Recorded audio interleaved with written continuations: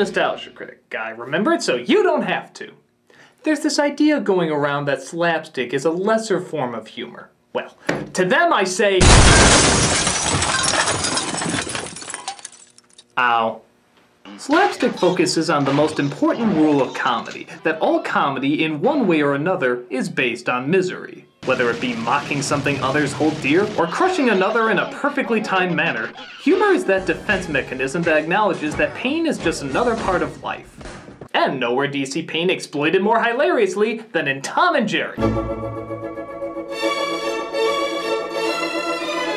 This cat and mouse duo has had both kids and adults laughing for years through no real dialogue, no real stories, just excuses to crush, burn, and maim each other as much as physically possible. Now, when these shorts came out, cartoons hurting each other wasn't anything new. Lots of cartoon shorts, including Disney and especially Warner Brothers, seem to have this shtick down pretty well. But if there was already two major companies doing it so well, how come Tom and Jerry rose to be the pinnacle of slapstick duos? Well, maybe one of the main reasons was there was rarely any talking. I mean, there was an occasional line from one or two other characters, but Tom and Jerry themselves usually kept quiet, perhaps allowing less time to devote to motivation and instead more time to devote to the physical humor. Warner Brothers is great, but half their comedy was the words they would say to one another in between the violence, and that worked wonderful for them. But here, they take a few moments to set up the scenario and then it's nothing but hardcore pain the rest of the way, giving many audiences exactly what they wanted. On top of that, despite the fact that they couldn't speak, they actually did form very solid personalities. Jerry is playful, innocent, and often looking to just have fun or even just survive.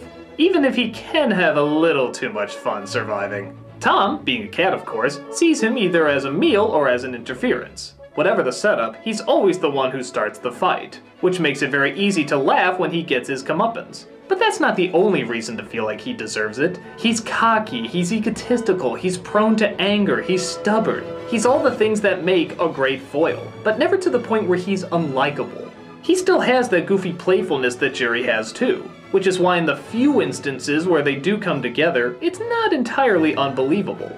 But let's get down to the reason why people really love Tom and Jerry. Their lust for blood! William Hanna and Joseph Barbera knew how to animate great slapstick. It makes sense in animation seeing how so much of the humor relies on timing and here you can literally control each frame to the tiniest detail, giving you complete power over your delivery. And that's exactly what they do. They know exactly how fast, how hard, and how painful every device of torture should be. But it's one thing to say they're good at it. Exactly how are they good at it? Why does the slapstick work so much better here than it does in other cartoons? Well, because, again, they understood that anything that can emphasize the amount of pain a character is in, usually the funnier the joke will be. Compare Tom and Jerry to, say, this scene from an episode of Tiny Toons. Now, Tiny Toons most of the time had good slapstick too, but sometimes they got a director or a team of animators that didn't do it as well as Hanna-Barbera did. Of course, the idea of cartoons is to exaggerate the possible, turning it into the impossible. But in order for it to be funny, you have to know what to exaggerate. Like, watch this bit. This scene doesn't work as well because the character is too stretchy and too flexible. It doesn't look like they're getting hurt that bad because it doesn't look solid enough. Now watch when Tom gets hurt.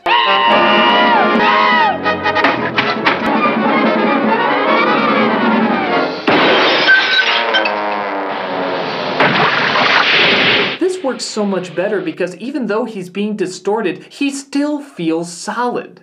And the area that they do manipulate complements the weight of the item that's causing the damage. It's like when you have a jar of Play-Doh. Yeah, it's stretchy and not too hard, but when you smash your fist down on it, it leaves an imprint, so you can tell it's still solid.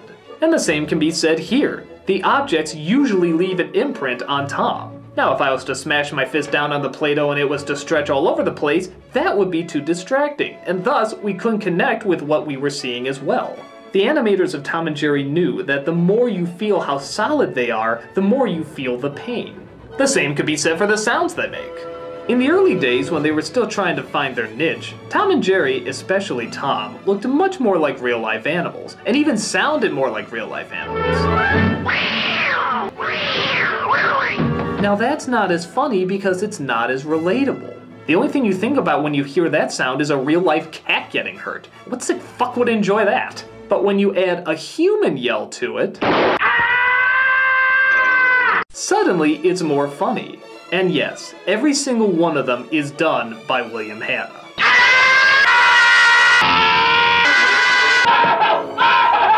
So why is this yell funnier than actual cat yell? Well, on top of the surrealness factor, the idea of hearing a man's voice come out of an animal's mouth, as people, we understand a human being being hurt more than we do an animal. Animals don't communicate with us the same way we communicate with each other, so naturally we'll be able to find the humor easier with something that acts more human despite the fact that they look like an animal. That's another reason you almost never see them on all fours. The more they made it look like animals acting like people and not animals acting like animals, the more likely they were to get a laugh. They knew just when to have them use their voices too. They were never overplayed, like some pieces of cock burger that I know. They were just used at the appropriate time when the scene needed something particularly silly to up the humor. I love you. This one especially gets me, just for the surrealness alone.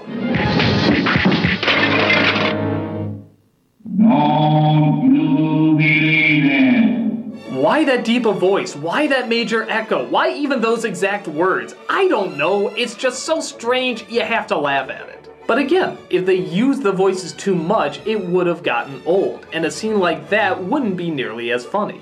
So they had to use them sparingly. The expressions are also something Hanna-Barbera got down perfectly. The more content and comfortable a character can be in their environment, the more funny it'll be when it comes crackling down. That's why so often you'll see Tom give this mocking grin when he thinks he's won. The more happy he is, the harder the blow will be that knocks him out of his bliss. Even a simple questioning expression can work, as long as the character looks genuinely confused. Adding to the idea that the more the character thinks he's connected to what's really going on, the funnier it'll be when reality comes smashing him in the face.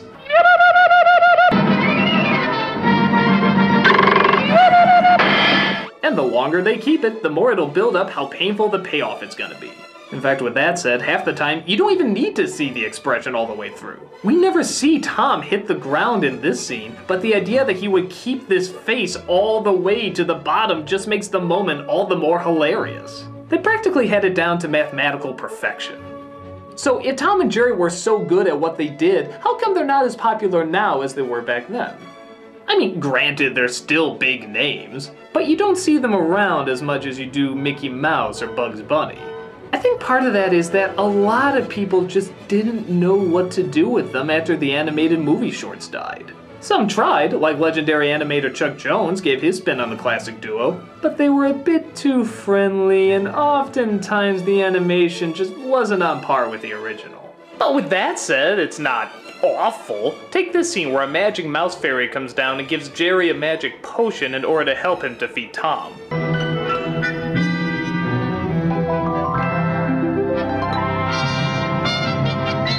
Any series that has a scene like that has some understanding of what made Tom and Jerry work.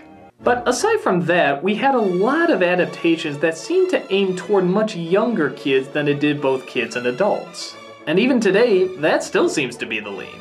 Trying to put these two characters that obviously belong in simplistic shorts into dialogue heavy stories that rarely have anything to do with what made them so popular to begin with. So, whether or not an outlet will open up for Tom and Jerry to really shine again is unknown. But what is known is that when Tom and Jerry got it right, they got it right. With a perfect combination of animation, timing, sound effects, and a clear understanding of why physical humor will never die as a comedic art. This is why, though not as popular as they used to be, their names will not be forgotten anytime soon. They didn't break any barriers or change the way animation is done, they just did what they did so well, and that was simply being funny. And as long as we keep orphan girls with Indiana Jones fathers and ice cream cart rapists out of the picture, I can assure you that Tom and Jerry will still be relevant names for years to come.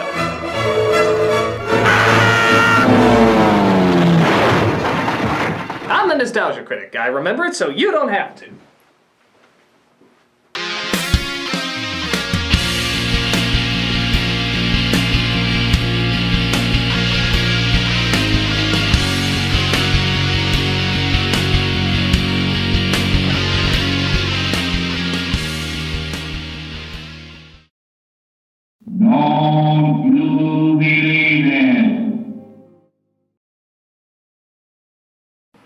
Hi, Doug Walker here, and holy shit. I mean, holy shit. I'm, of course, talking about the Indiegogo uh, thing that we did to raise 50000 to get uh, our, our, our shows going, our other shows, the, this uh, pop culture and nostalgia show, this game show, this online game show we wanted to go, and even with still several days left, we hit our goal. I mean, like, we hit 50,000. We were we're actually at 55 uh, as I'm making this video.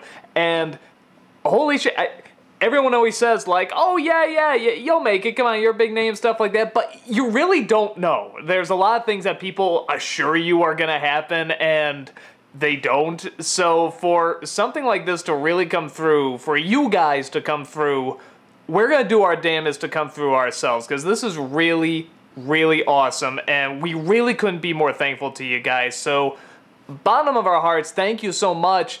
We're into stretch goals now. We're into that territory. And I'm just sort of here real fast to tell you what the stretch goals are as well as uh, what the money that we have now is going to. It is pretty much the stuff we said before. We're going to use it to uh, get the set put together for the uh, uh, for the nostalgia pop culture show. Uh, you know, to, to get the contestants going and prizes going, and uh, we're updating all our equipment. We're updating new cameras. The cameras we've worked with have been nice, but we want to go on to like the STI stuff, which is going to look a lot more professional. It's going to be easier to work with at editing live. New editing equipment that's coming. Uh, you know, new lighting all this stuff is coming to make these productions and these shows look even better than they are now. So all that is coming. Uh, the stretch goals, uh, if we hit uh, 65, uh, pretty much we're going to be going into the uh, the comic book show next. We want to do a comic show that's not just a review show, but it's sort of everything comics. We want to do sort of like this comic variety show that just sort of welcomes and celebrates and rips apart and does everything comics pretty much because this culture is just so grand right now with the movies going and, just comics are just huge. So we really want to do something that really has fun with that and celebrates that and talks about it, just all sorts of fun stuff. And if we hit uh, 75k, we're gonna go right into the video game show. Uh, we're gonna go into having those episodes ready and set to go. Uh, we're gonna try and do new stuff with that that you don't usually see. Video game game show. I'm sorry, you know what I mean. But uh, yeah, cause you it- it- people should be rewarded for their lazy asses sitting down and playing those video games, like me when I play. So, um, yeah, pretty much this whole thing is just blowing my mind, man. It is so cool. We've gone from, I mean, at least me personally, not knowing if we reached that goal to going to stretch goals, and that's that's you guys that made that possible. So it's it's the coolest thing. It's so awesome that you guys care that much. The people that donated a certain amount and have the perks coming, they'll, definitely be coming. And uh, man, just I don't even have the words. I know it's cliche, but I really don't have the words. It is so awesome, guys. Uh, a lot of cool stuff is coming, and now it'll get to you even faster. We're excited. I hope you're excited. We're gonna do our best to come through and get good stuff for you guys. So I'll see you later. As of now, I'm gonna watch some Korra.